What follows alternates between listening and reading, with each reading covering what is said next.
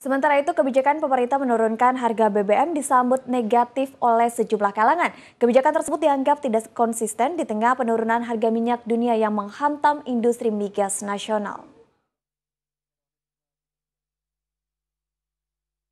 Penurunan harga bahan bakar minyak jenis premium dan solar oleh pemerintah disambut positif oleh publik. Namun sejumlah kalangan menilai kebijakan tersebut tidak konsisten, apalagi di tengah penurunan harga minyak dunia yang menghantam industri migas nasional.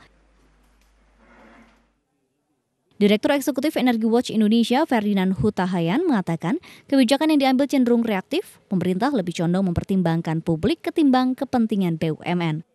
Di kebijakan ini ditelurkan sebagai kebijakan untuk memenuhi ekspektasi uh, publik ya bahwa di tengah merosotnya harga BBM, harga minyak dunia, tentu publik menuntut penurunan harga BBM. Nah, di sini kita melihat adanya ketidakkonsistenan pemerintah di dalam regulasi yang mereka buat sendiri.